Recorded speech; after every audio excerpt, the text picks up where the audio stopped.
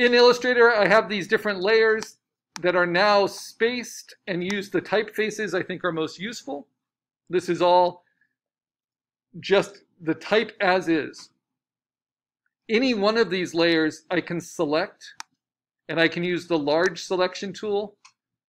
And if I don't hold down shift, I can distort them. But for now, I don't want to do that. I want to keep their normal.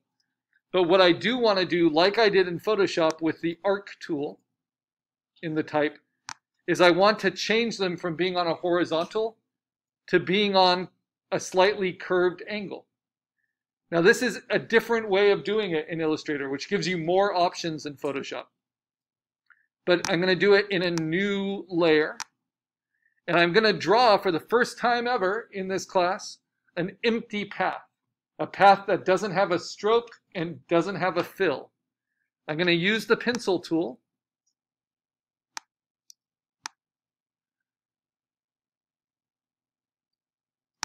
And I'm going to turn off both the stroke and the fill. And I'm just going to draw the line underneath my text blocking. So you see I drew a little arc there.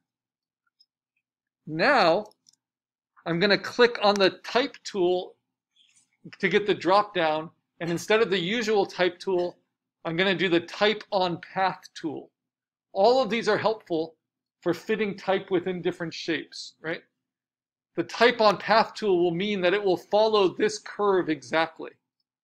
I click on it, and then I go to the content I want to fit on that line, which is northeast. I have to unlock it.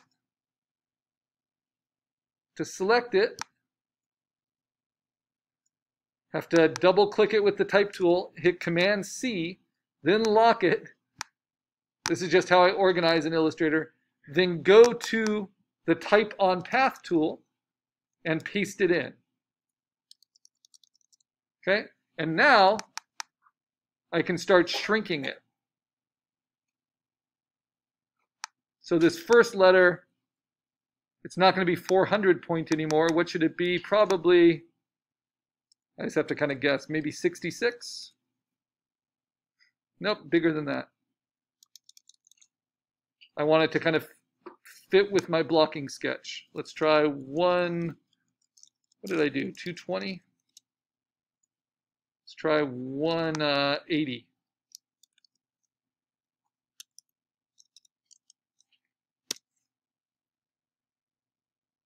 And soon we'll just be able to outline these as vectors. Let's try 166.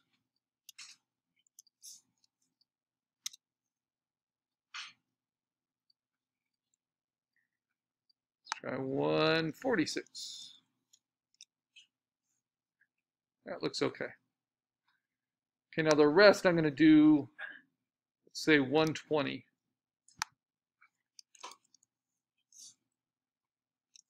And again, you can just type these values in. Luckily, when I type numbers in, it doesn't stop the recording.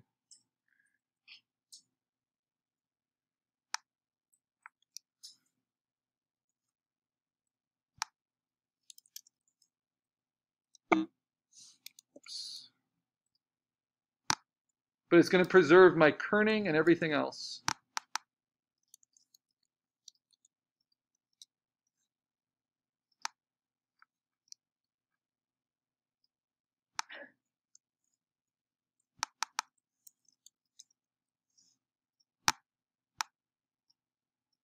Will preserve my typeface.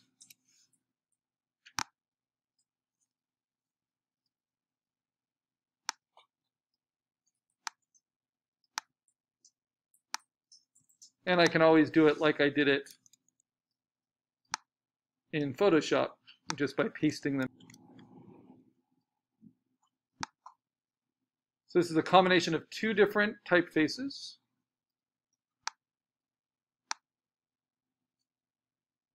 and you can see it's on the curve. Up let me double click on it. There we go. But if all of your type doesn't fit on that curve you need to extend the path. So you use your pencil tool.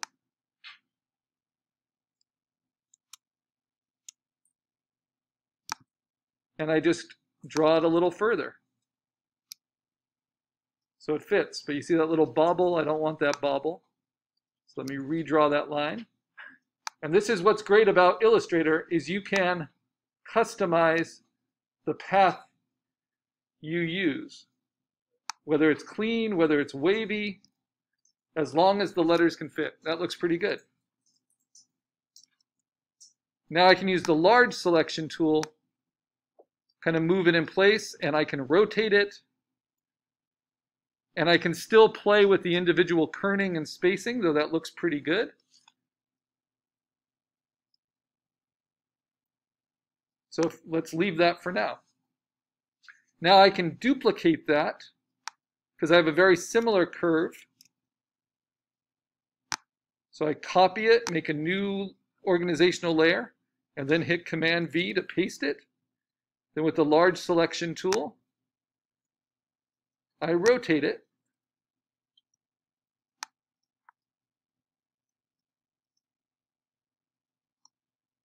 Rotate it a little bit less.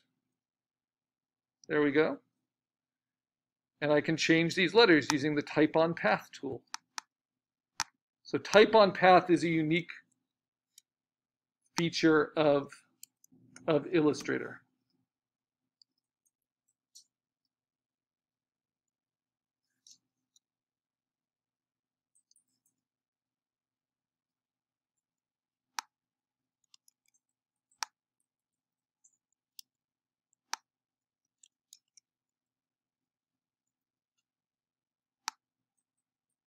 I'm going to delete these, do the V. So as I delete them, these big letters, when they can fit, are going to be in there. A little annoying. There's still a T in there somewhere. I think I want, yes, I want the, the thicker eyes. Come on.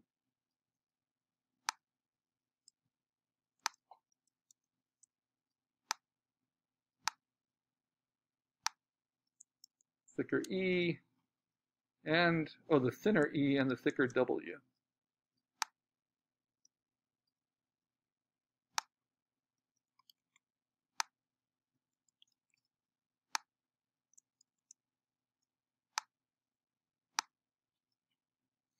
So let me extend with the pencil tool that path a little bit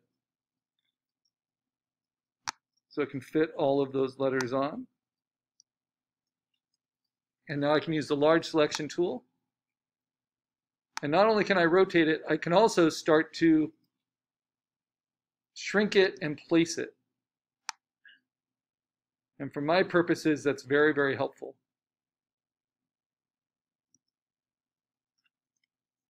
Now that looks pretty good, except there's too much space around the V, and this is where it's really helpful to have it as a type tool still, because I can still play with the kerning using the Option key and my arrow keys. Same thing here. I have to unlock it. But if I want a little bit more space around the T in Northeast, I can use these arrow keys and the Option key and close that up. And it will still always follow the path.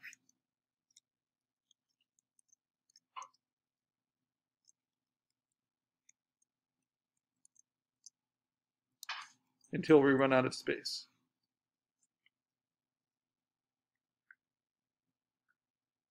Okay, let me see what this looks like from a distance.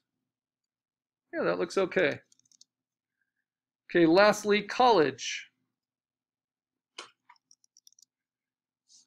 This would be a good time to save my progress. So I saved this not overwriting my spot illustration assignment 5 EPS, but instead assignment 6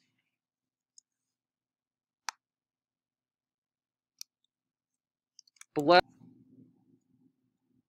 into my assignment 6 folder or just right onto your desktop to organize later.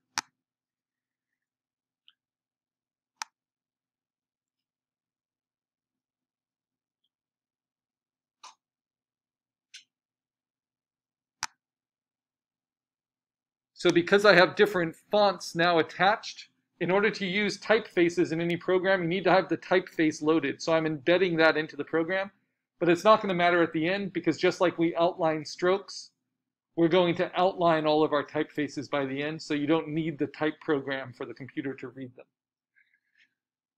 That's a little complicated, but hopefully it will make sense as we go.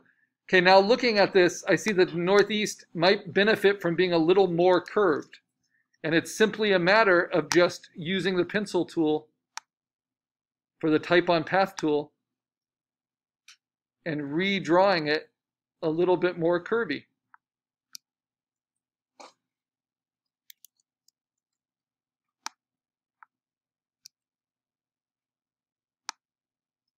But remember, I need to start on the path and end on the path.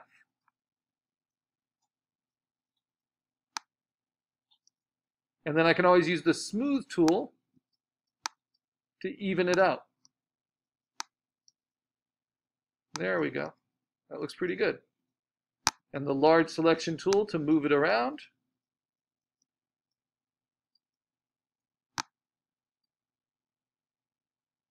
And to place it. Now, is there any kerning I want to fix? Maybe a little bit more space around the E. And then while it's still a type tool, I can also just select this E and make it, just it, a little bit smaller. Take this, I think the T and the R work okay. But maybe increase the space a little bit between the O and the N.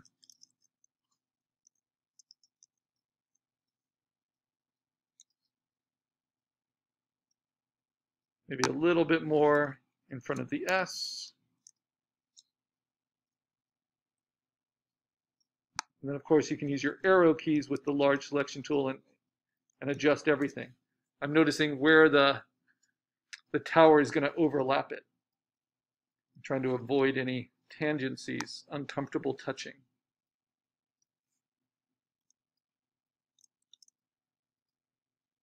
All right, that looks good.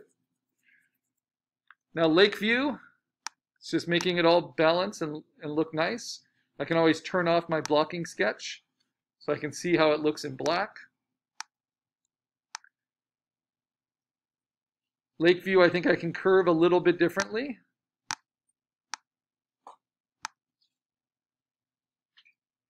And this is all with the full control of the pencil tool.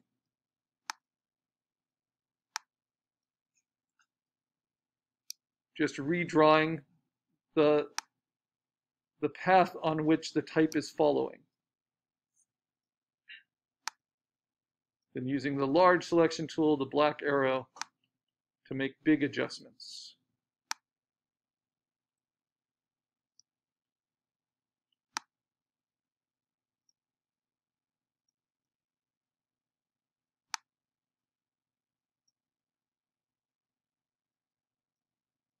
This is often called typesetting